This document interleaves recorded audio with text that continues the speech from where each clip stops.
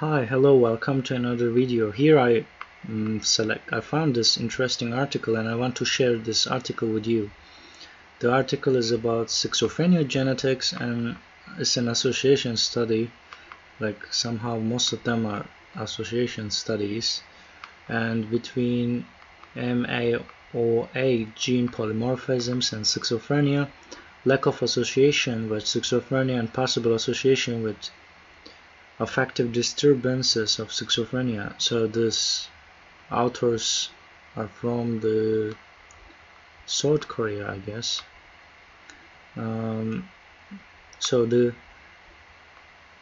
this gene catalyzes monoamine neurotransmitters including dopamine and serotonin and norepinephrine and it also plays a key role in emotional regulation the aim, aim of this study so that they emphasize it to tell that emotional regulation is important aspect of it the aim of this study was to investigate the associations between the exonic single nucleotide polymorphisms of the of the MAOA gene located on the X chromosome and schizophrenia. We also analyzed the relationship between these single nucleotide polymorphisms and the common clinical symptoms of schizophrenia such as persecutory delusion, auditory hallucinations, affective disturbances, and poor concentration.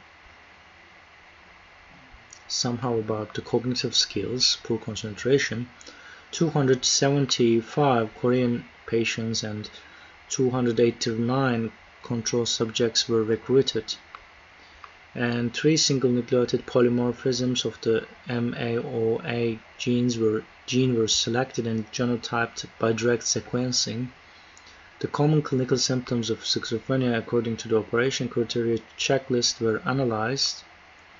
Three examined SNPs showed no associations with uh, male and female schizophrenia respectively in the analysis of common so there are male and female so they separately analyze it I guess. And three examined three examined single nucleotide polymorphisms were associated with affective disturbances especially restricted affect and blunted affect in male schizophrenia respectively. The single nucleotide polymorphisms were not associated with other clinical symptoms of schizophrenia.